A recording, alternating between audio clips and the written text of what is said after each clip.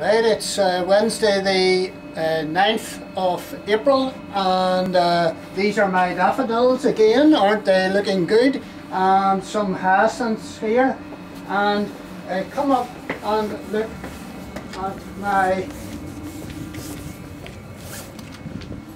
snakes, my snake's head fritillary.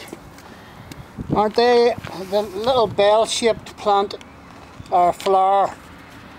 Now, uh, you can see my daffodils in all their glory, looking good.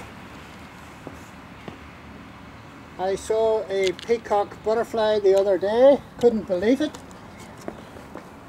And I put up some string to stop the daffodils being pushed over. Right, we are going on a motorcycle ride up to Nanny's